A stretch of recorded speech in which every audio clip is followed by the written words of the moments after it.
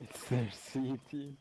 Oh my fucking Well, this Tell them A the. C team needs practice. So See, this is the fucking one of the reasons I stopped playing this game, because all these fucking faggots have some fucking kind of excuse every fucking time, man. Uh, it's And while you left? ridiculous.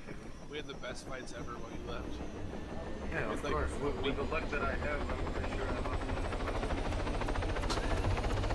Every time we fought innovative, they had like 20 people.